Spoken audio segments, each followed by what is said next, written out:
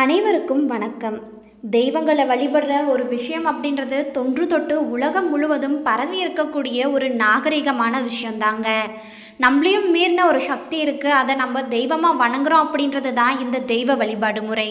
இப்படி தெய்வங்களை வழிபடும் பொழுது ரொம்பவே விசித்திரமான தெய்வங்களையும் நம்ம இந்தியாவில் அதிகமாக வழிபடுறோம். நம்மளுடைய கோவில்கள் மர்மம் நிறைந்ததாகவும் அதிசயங்கள் நிறைந்ததாகவும் இருக்குங்க. அதே போல் பல விஷயங்களை நம்ம கடவுளாக வணங்குறோம். நாகங்களை கடவுளாக வழிபடுற முறை இந்தியாவில் இருக்குங்க.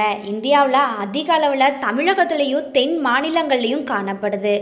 நாகங்கள் அப்படின்றது ரொம்பவே விஷம் நிறைந்த ஒரு விலங்காக பார்க்குறோம். அப்படிப்பட்ட விஷம் நிறைந்த விலங்குகளையே கடவுளாக கும்பிடக்கூடிய கலாச்சாரம் தான் நம்மளுடையது.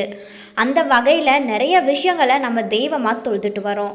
அதே போல் நதிகளுக்கு பெண்கள் பெயரை வச்சு நதிகளையும் கடவுளாக தான் தொழுதுட்ருக்கோம். இந்த உலகத்தில் இருக்கக்கூடிய பஞ்ச பூதங்களும் கடவுளாக தாங்க கும்பிடப்படுது. காற்று நீர் நிலம் மண் ஆகாயம் இப்படின்னு எல்லா விஷயங்களுமே வந்துட்டு நம்ம கடவுளாக தொழுதுட்ருக்கோம். அது மட்டும் இல்லாமல் நெருப்பு கூட கடவுளாக கும்பிட்றோம். நம்மளுடைய சூரியனை சூரிய பகவான் அப்படின்னும் மழையை வருண பகவான் அப்படின்னும் சந்திரனை இந்திரன் அப்படின்னும் கும்பிட்டுட்டு தான் இருக்கும். அதே போல தான் ரொம்பவே வித்தியாசமாக கேரளத்தில் ஒரு கோவில் கட்டியிருக்காங்க. உலகம் முழுவதுமே இப்போ ஒரு கொடிய வைரஸால் ஆட்பட்டிருக்காங்க. கொரோனா அப்படின்ற ஆட்கொள்ளி நோய் ரொம்ப வீரியம் எடுத்து உலகத்தில் இருக்கக்கூடிய எல்லோரையுமே பாதிச்சிட்ருக்கு. இந்த வைரஸ்னால ஏகப்பட்ட மரணங்களும் நிகழ்ந்துட்டுருக்கு அப்படி இருக்கும் பட்சத்தில் வித்தியாசமான கோவில் எதுக்கு கட்டியிருக்காங்க அப்படின்றத சொல்கிறேன் கேளுங்க. நம்ம இந்த வைரஸை ரொம்பவே கொடுமையான வைரஸ் கொடூரம் அப்படின்ற ஒரு இடத்துல வச்சு தான் பார்த்துட்ருக்கோம். நான் இப்போ சொன்னதை வச்சு நீங்களே கண்டுபிடிச்சிருப்பீங்கன்னு நினைக்கிறேன். ஆமாங்க கொரோனா வைரஸ் அப்படின்ற இந்த வைரஸுக்கு தான் கேரள மாநிலத்தில் ஒருவர் கோவில் கட்டி வழிபட்டுட்டு வராரு. தன்னுடைய மனைவி இறந்ததற்காக அந்த காதலின் நினைவாக சில கணவன்கள் கோவில் கட்டி வழிபட்டதை நம்ம பார்த்துருப்போம். அண்ணன்களுக்கு எடுத்துக்காட்டா அண்ணன்மார் கோவில்களும் இருக்குங்க. அதே போல் நிறைய இடத்துல நிறைய பேருக்கு கோவில் கட்டி கேள்விப்பட்டிருப்போம். ஆனால் இந்த விசித்திர கோவில் இந்த வைரஸுக்காகவே கட்டப்பட்டது. அந்த மனிதருக்கு எப்படி அந்த கோவில் கட்டணும் அப்படின்ற எண்ணம் வந்தது? அந்த வைரஸ் இருக்கக்கூடிய கோவில் எங்கே இருக்குது அப்படிப்பட்ட அந்த கோவிலின் அதிசயம் என்ன அப்படின்றத தான் இந்த வீடியோவில் இன்றைக்கி நம்ம பார்க்க போகிறோம் இந்த வீடியோ ரொம்பவே சுவாரஸ்யமாக இருக்கும். ஸோ கடைசி வரைக்கும் ஸ்கிப் பண்ணாமல் பாருங்கள் நீங்கள் இது வரைக்கும் நம்ம அறியாத தகவல் சேனலை சப்ஸ்கிரைப் பண்ணலனா கீழே இருக்கக்கூடிய சப்ஸ்கிரைப் பட்டனை ப்ரெஸ் பண்ணி சப்ஸ்கிரைப் பண்ணிடுங்க.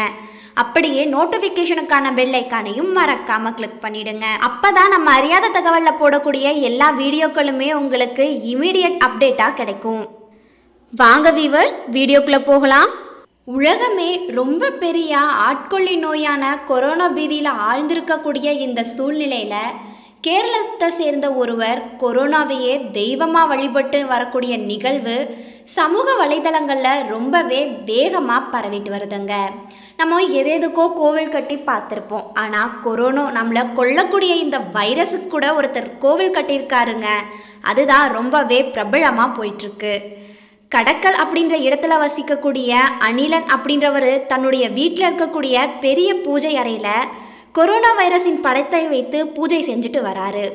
கொரோனா வைரஸ் ஒரு தெய்வமாகவே வணங்குவதாகவும் கொரோனாக்கு எதிராக களத்தில் முன்னிருக்கும் மருத்துவர்கள் சுகாதார பணியாளர்கள் காவல்துறையினர் தீயணைப்பு படை மற்றும் ஊடக பணியாளர்கள் விஞ்ஞானிகள் ஆகியோரின் பாதுகாப்பு மற்றும் நல்வாழ்வுக்காக அந்த வைரஸை நினச்சி தினசரி பூஜைகள் செய்கிறதாகவும் அந்த நபர் தெரிவிச்சிருக்காரு.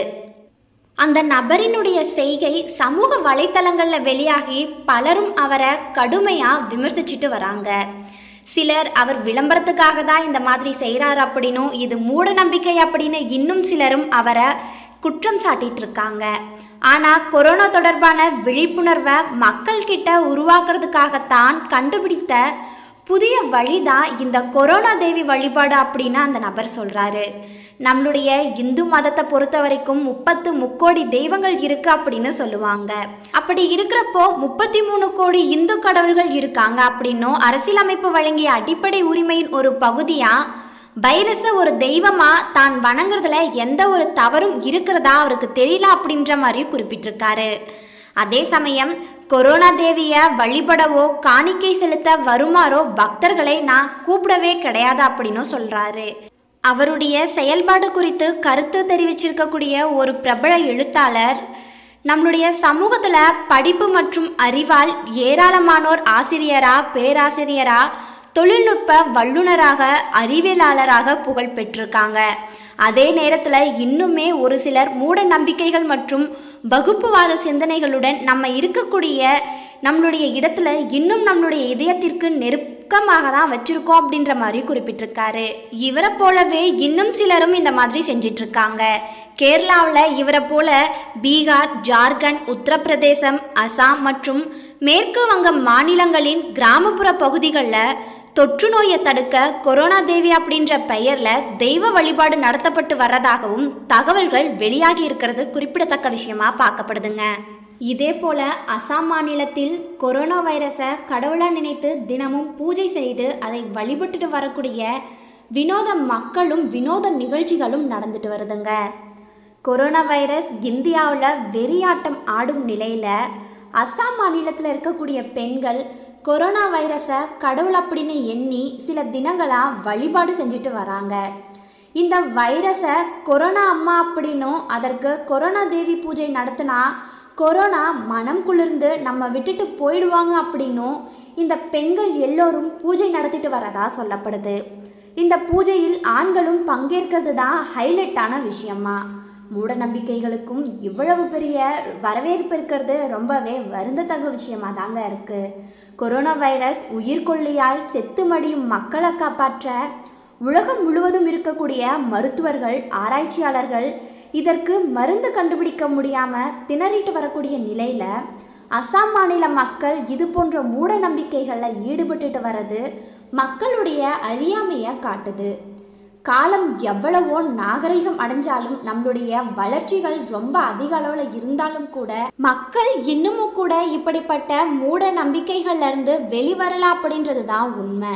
நம்மளுடைய வளர்ச்சி ரொம்ப முன்னாடி போயிட்டு இருக்கக்கூடிய அதே சமயத்தில் மக்கள் பின்னோக்கியும் சென்றுட்டு தான் இருக்காங்க. இதே போன்ற மற்றொரு நிகழ்வு ஜார்க்கண்ட் மாநிலத்திலையும் நடந்திருக்குங்க. கொரோனா வைரஸை விரட்ட பெண்கள் எல்லோருமே ஒன்று கூடி பூஜைக்கு தேவையான எல்லா பொருட்களையும் எடுத்துக்கொண்டு மரத்தடியில் அமர்ந்து கொரோனா பூஜையை நடத்தியிருக்காங்க.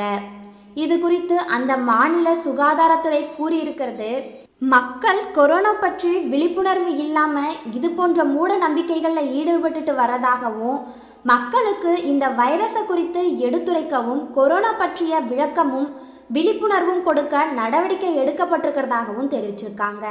உலகம் முழுவதுமே கொரோனா வைரஸை கண்டாலே பெரும் அச்சம் நிலவி வருது. தடுப்பு மருந்துகள் ஊசிகள் மாத்திரை அப்படின்னு இதை ஒழிக்க மருத்துவ அறிவியல் துறை பாடுபட்டுட்டு வரக்கூடிய இந்த நிலையில் கேரளாவை சேர்ந்த ஒரு நபர் கொரோனா தேவி அப்படின்னு தன்னுடைய பூஜை அறையில் கொரோனா பிம்பத்தை வழிபட்டுட்டு வர்றது குறிப்பிடத்தக்க விஷயமா இருக்குது இந்த விஷயம்னா இப்போ ரொம்பவே வைரலாக சமூக வலைதளங்களில் போயிட்டுருக்கு. இதை குறித்து அந்த நபர் சொல்கிறது என்ன அப்படின்னா கொரோனா வைரஸை பெண் கடவுளாக வணங்குறேன். தினமும் அர்ச்சனை செய்தும் பூஜை செய்கிறேன் இது எதற்காக அப்படின்னா கொரோனா செயல் வீரர்களான பாதுகாப்பு பணியில் ஈடுபட்டிருக்கக்கூடிய எல்லாருக்காகவும் இந்த கொரோனா வைரஸை கடவுளாக எண்ணி அவங்கள பாதுகாக்குமாறு கேட்டுக்கிறான் அப்படின்னும் இது தான் ஏற்படுத்தக்கூடிய ஒரு விழிப்புணர்வு அப்படின்னும் அந்த நபர் சொல்லியிருக்காரு. ரொம்ப அதிக அளவில் இருக்கக்கூடிய இந்த கொரோனாவின் தாக்கம் உலகம் முழுவதுமே இன்னும் குறைஞ்ச பாடு கிடையாதுங்க. இதற்கான மருந்துகள் இன்னும் கண்டுபிடிக்கப்பட்ட நிலையிலையும் இல்லை. எல்லோரும் இப்போதான் இதற்கான மருந்துகளை கண்டுபிடிக்கிறதுக்கு முயற்சி செஞ்சிட்ருக்காங்க. ஆனால் இந்த வைரஸை ஒழிக்கிறதுக்கோ குறைக்கிறதுக்கோ எந்த விதமான சோர்ஸும் இல்லை அப்படின்ற நிலையில கூட இப்படிப்பட்ட மூட நம்பிக்கைகள் வளர்ந்து வர்றது தான் ரொம்பவே வருத்தம் அளிக்கக்கூடிய விஷயமா இருக்குது கொரோனா அப்படின்றது உயிரை பறிக்கக்கூடிய ஒரு கொடிய நோய் கிருமி அப்படின்னு தெரிஞ்ச போதிலும் அதை கடவுளாக கும்பிட்டுட்டு வரக்கூடிய மனோநிலை நம்மக்கிட்ட மட்டும்தாங்க இருக்குது இப்படிப்பட்ட விஷயங்கள்லேருந்து நம்ம எப்போ வெளிவர போகிறோம் அப்படின்றது யாருக்குமே தெரியல. மூட நம்பிக்கைகளில் சில நம்பிக்கைகள் நமக்கு இருக்கலாம். ஆனால் அது ரொம்பவே மூடத்தனமாக இருக்கக்கூடாது அப்படின்றது தான் எல்லோருடைய வேண்டுகோளாகவும் இருக்குது இந்த வீடியோ உங்களுக்கு பிடிச்சிருக்கும் நம்புகிறேன் இந்த வீடியோ உங்களுக்கு பிடிச்சிருந்தா லைக் பண்ணுங்கள் ஷேர் பண்ணுங்கள் கமெண்ட் பண்ணுங்கள் நீங்கள் இது வரைக்கும் நம்ம அறியாத தகவல் சேனலை சப்ஸ்கிரைப் பண்ணலனா கீழே இருக்கக்கூடிய சப்ஸ்கிரைப் பட்டனை ப்ரெஸ் பண்ணி சப்ஸ்கிரைப் பண்ணிடுங்க. அப்படியே நோட்டிஃபிகேஷனுக்கான பெல் ஐக்கானையும் மறக்காமல் கிளிக் பண்ணிவிடுங்க இப்படி இவர் கொரோனாவை கடவுளாக வழிபடக்கூடிய விஷயத்தை நீங்கள் எப்படி பார்க்குறீங்க அப்படின்றதையும் மறக்காமல் கமெண்ட் பண்ணுங்கள் நன்றி நண்பர்களே.